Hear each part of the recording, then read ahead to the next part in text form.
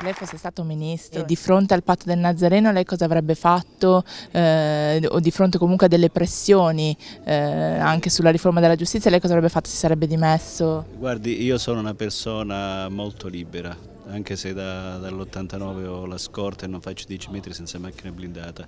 Eh, io avrei fatto il ministro modificando i codici, gli ordinamenti, modificando la struttura eh, del Ministero della Giustizia, cioè avrei, avuto, avrei fatto eh, una rivoluzione, quella che ho in testa. Del resto eh, non è compito mio e nessuno mi avrebbe potuto condizionare.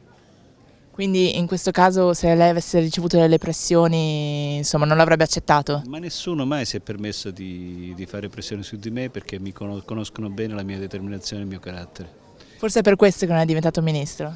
Non lo so, bisogna chiederlo a chi era in quella stanza. Io fino a un quarto d'ora prima che il Presidente Renzi entrasse eh, in quella stanza io ero nell'elenco dei 16 ministri della giustizia, eh, dei ministri come Ministro della Giustizia. Che cosa le è rimasto di quei giorni? Molta amarezza?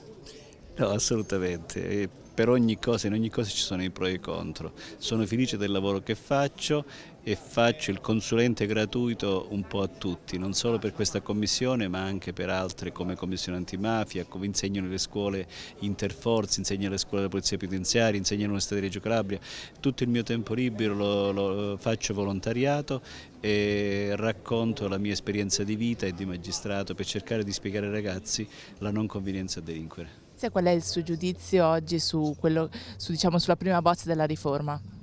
Ma questo può essere un antipasto di una riforma. Ancora bisogna scrivere tante cose, bisogna integrare eh, tante cose sia su ciò che è già stato presentato, sia presenteremo nuove cose mh, mm, entro brevissimo tempo. Cioè eh, la commissione della quale sono Presidente non è in contrasto, non va in conflitto con il lavoro del Ministero della Giustizia. E ci vuole un po' di pazienza e tra breve, nel medio periodo, eh, presenteremo un buon prodotto.